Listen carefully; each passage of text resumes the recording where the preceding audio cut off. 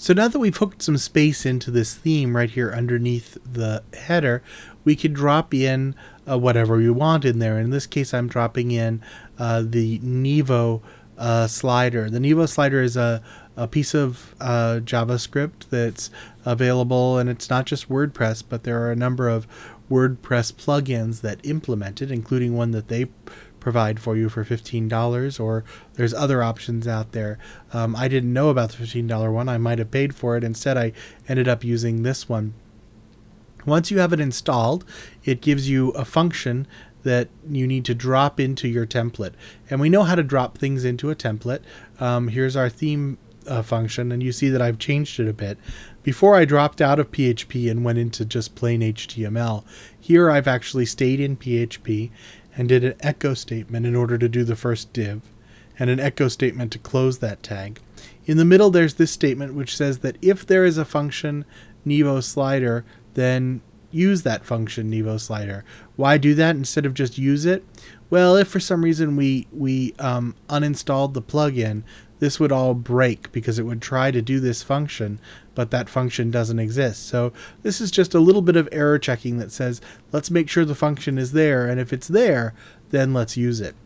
Um, in the end, I had to actually alter the plugin slightly. Uh, but let me show you how the plugin works at a basic level. That's the piece that puts it into the template. Here I've installed it and activated it.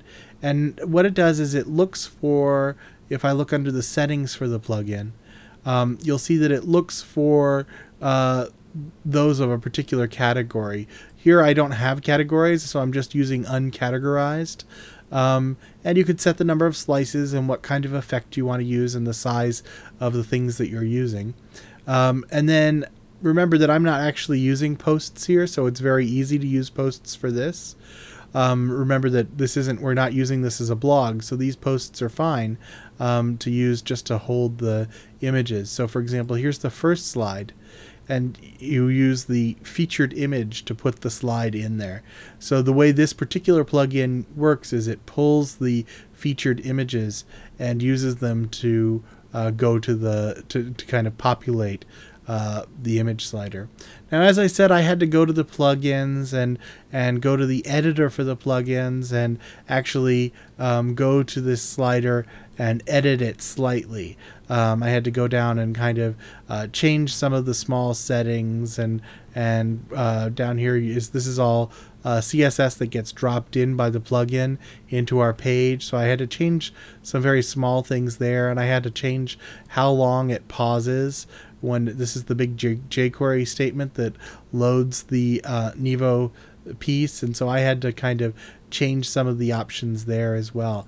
But it was very easy to do, um, and uh, now I have uh, something that works as a slider. We'll have to rework probably the images that get get placed here, but broadly speaking, it seems to work.